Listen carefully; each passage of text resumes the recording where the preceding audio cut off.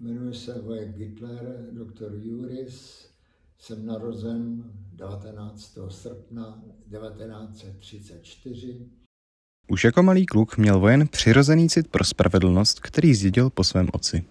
My jsme v té době bydleli s matkou v Turnově a otec, pokud nebyl zrovna zavřen, tak pracoval v Praze.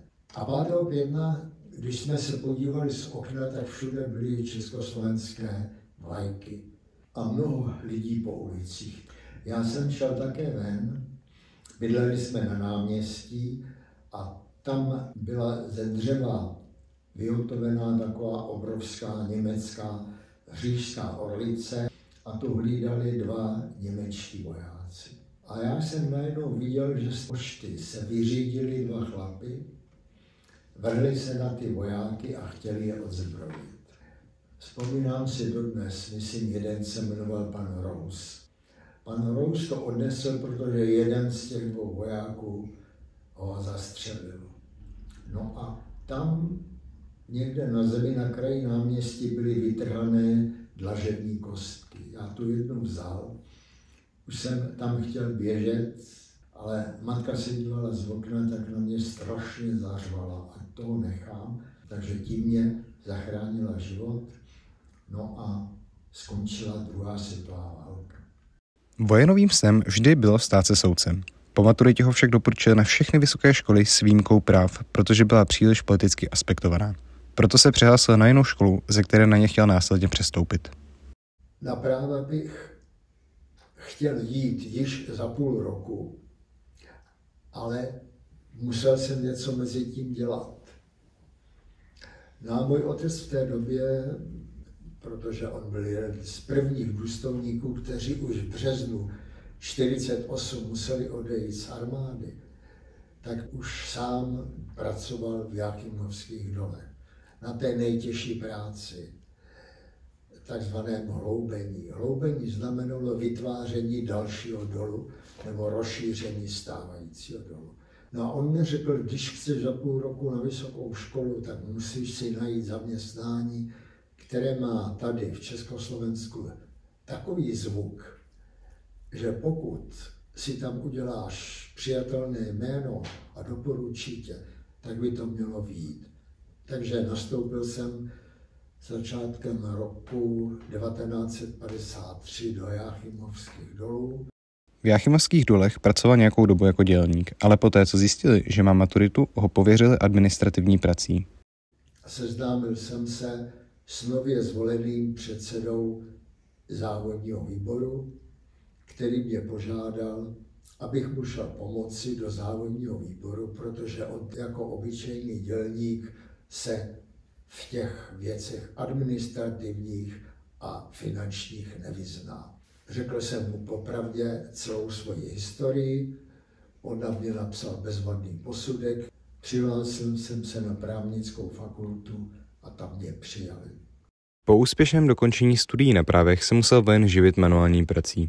Až poté se mohl stát soudcem, což se mu nakonec podařilo. V té době byla komunistickou stranou zřízena právnická škola pracujících, takzvaná PŠP, která měla za úkol z dělníků udělat právníky jednoduchou cestou, aby si strana mohla dosazovat své lidi na místa, kam potřebovala. Vojen se s absolventy této školy setkával v praxi. Když jsem byl u okresního soudu v Rychnově nad Kněžnou, tam pracoval absolvent PŠP, který se jmenoval František Šrám. Ale pro něho nešťastnou náhodou došlo k tomu, že šel na PŠP a pak dělal soudce. Ten, když měl nadiklovat naprosto jednoduchý rozsudek, tak přitom vykouřil snad 10 cigaret, byl celý rudej rozčilením. A vzpomínám si, že jednou předseda soudu říkal, mám problém, musíme odstranit tady na dvoře ten bilet, co tam je, nějaké harampádí, stará kůlna dřevěná. Co jste tady nejmladší? Nešli byste tam s tím pomoct? A ten Franta Šrám říkal, předsedo, já bych jim šel pomoct. Nejvíc to udělal on a viděl jsem, že je štěstím bez sebe, že dělá něco, co je mu vlastní, že tam bourá kůlnu. místo toho, aby psal rozsudek o rozvodu. Vojen mířil se svojí kariérou výše než pouze na okresní soud a proto se snažil získat místo na krajském soudě v severočeském kraji. Nejdříve ho chtěli umístit k soudu v Mostě, kam on ale nechtěl. Místo toho se jel představit do Ústí nad Labem. Tamní předseda krajského soudu říkal, zůstaň tady, my máme večer, večírek, přišel jsem tam, přišel jsem k němu, znovu jsem poděkoval za pozvání a pak náhodou jsme se spolu sešli na toaletě. Já jsem měl takový pocit, že to je takový člověk, se kterým by se dalo mluvit i o takových běžných lidských věcech. U někoho jiného bych si to možná nedovolil. Ale když jsme tam skončili na té toaletě, tak jsem mu říkal, soudru předsedo, nešel byste se mnou na vodku? A jemu úplně se zaleskly oči a říkal, no jasně. Tak jsme to asi dvakrát otočili. On mě pak dovedl k tomu stolu, kde seděl on, vedení krajského soudu, jeho manželka. A velmi jásaným způsobem řekl, že má novýho vynikajícího soudce do Ústí nad Labem. V roce 1968 založil spolu s dalšími klub angažovaných nestraníků, politické hnutí, které združovalo zájemce o politiku, kteří nechtěli být členy KSČ.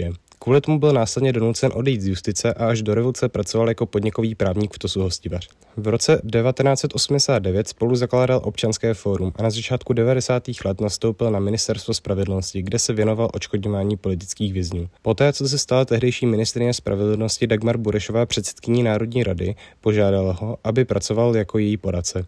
Následně byl v roce 1992 Václavem Havlem jmenován soudcem Ústavního soudu Československa a později i České republiky. V roce 2003 byl znovu jmenován Václavem Klausem, čím se stal nejdéle sloužícím ústavním soudcem v České republice.